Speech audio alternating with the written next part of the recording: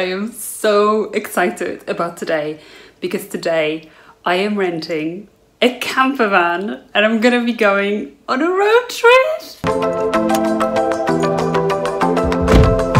This year, I set my mind on buying a camper van. I had fallen in love with vintage Autosleeper symphonies, and in May, I started viewing potential campers to buy.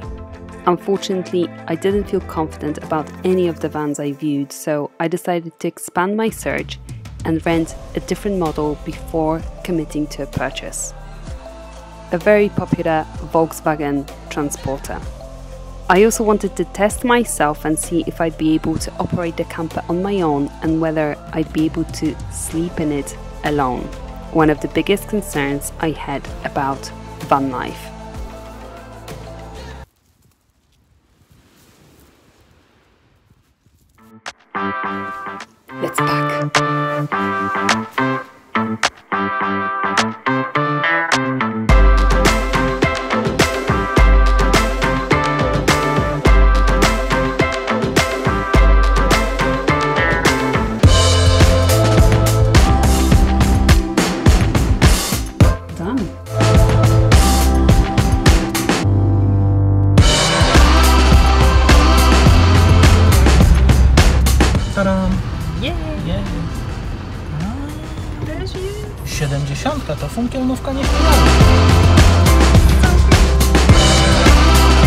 During the first night, I was joined by one of my best friends for support, but also to have more fun.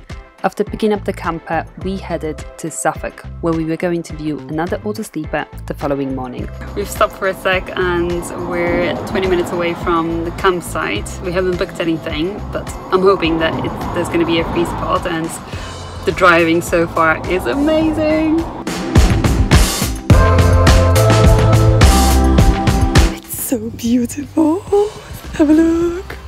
This is the van. It's a VW transporter. And well, as you can see, it's from the company called Under the Stars. This is not sponsored at all. I wish it was, but okay, maybe in the future.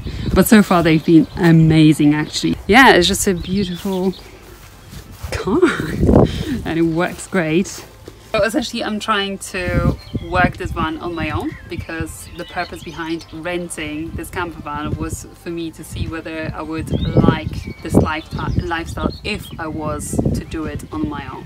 So I'm about to do the swivel seat. So I need to undo this. Little wiggle.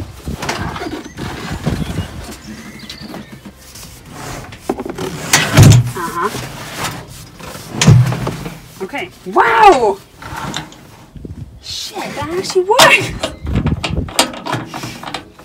You just put it back. Okay, now for the bed. Really important part because this is something that if you live in a van, which I'm considering doing, is going to be something that I'm going to be doing every single day. So let's see how this system works.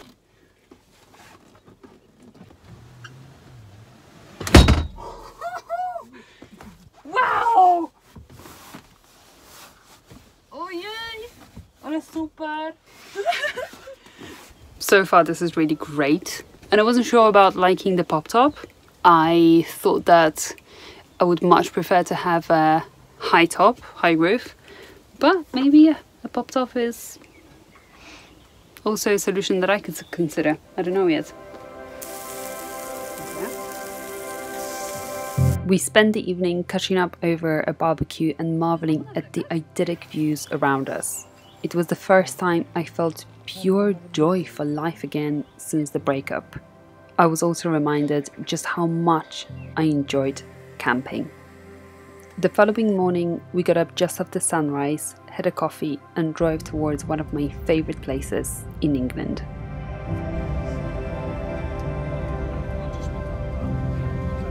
Suffolk never disappoints, and we just arrived at the Two Magpies Bakery, which is an excellent place. If you're ever in Suffolk, I really recommend stopping here.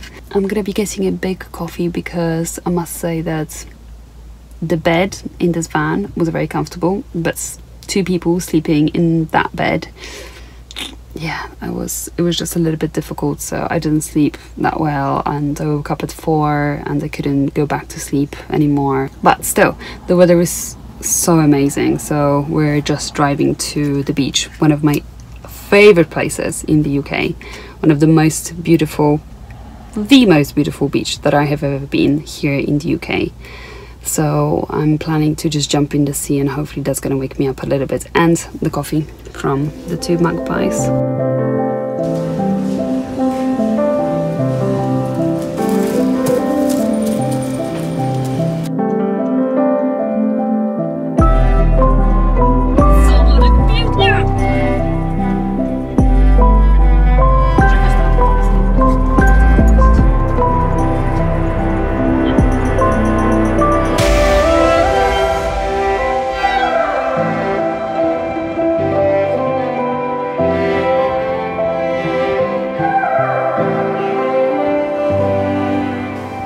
After soaking up some sunshine, it was time for us to drive to my viewing of another vintage Autosleeper Symphony.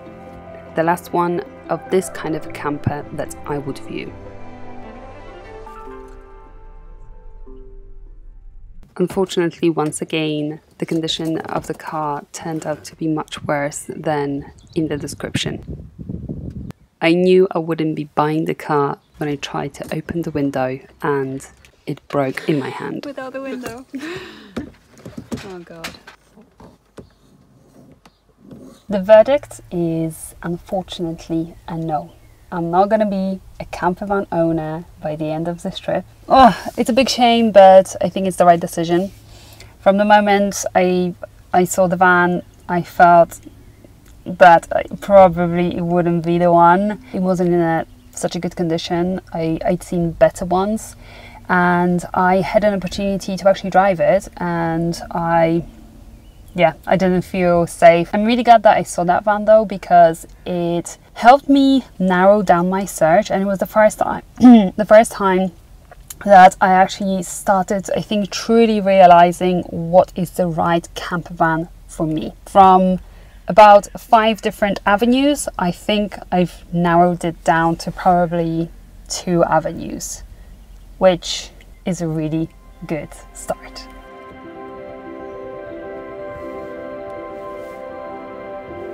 I was leaving Suffolk disappointed, a bit sad and nervous too, because I was gonna have to say goodbye to my friend and I was about to spend the first night camping in a camper van on my own, facing one of my biggest fears linked to van life. Luckily, I ended up in a stunning campsite in Sussex that was filled with alpacas. I'm about to spend my first night camping on my own. In the last years, I've been a tricky sleeper. I just need to take extra steps to make sure that I do get a healthy sleep. It's actually only nine o'clock now.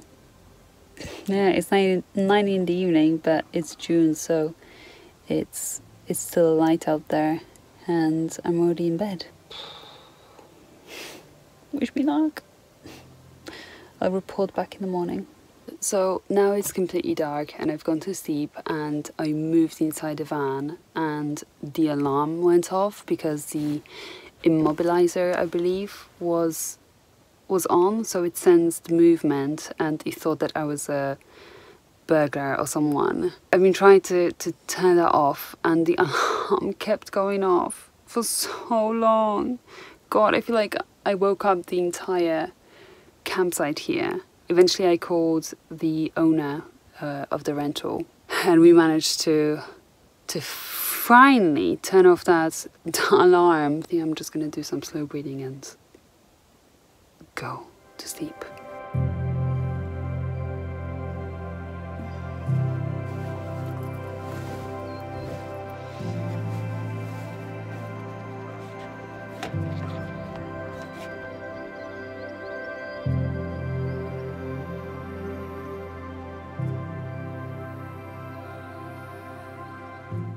The alpacas are so cute.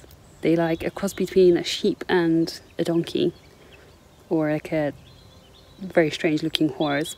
and they scratch their, their front legs with their back legs all the time in a very funny manner.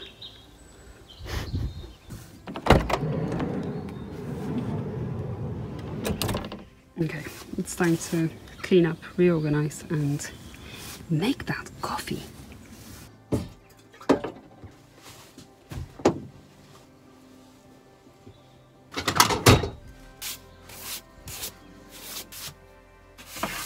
I've just spoken to my neighbor who's sleeping in a tent, and he was one of the people that I felt so bad for yesterday when my alarm kept going off because he went to bed early and he's sleeping in a tent. There's no protection, like sound proofing there. I apologized for the noise last night, and he was like, Didn't hear a thing. what? I stressed so much about that, and people didn't probably even hear.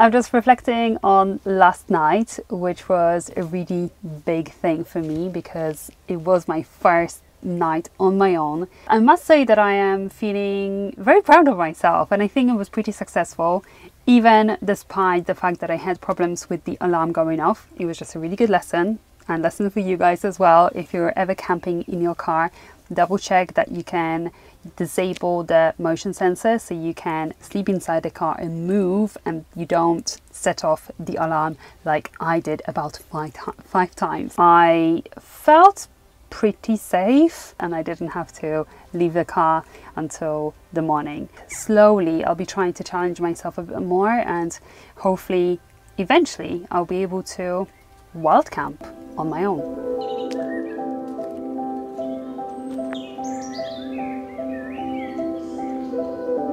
Feeling so good here.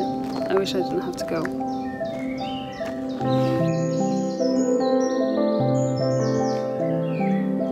My trip is coming to an end and I feel like I've learned so much in only three days. The first thing is that I realized that I am capable of sleeping on my own in a campsite. I was really worried about that and I thought that I would not be able to buy a camper if I can't sleep on my own. But even though I was a little bit nervous and I maybe did not have the best night's sleep, I was capable of sleeping on my own. The next thing that I've learned is that I like the layout of this of this van. I really wanted to rent this specific layout because having seen lots of different layouts, I felt like this one might be the best for my needs, but it's different just seeing a layout in pictures and it's completely different to try it out. In general, this is a good base layout for me, I think.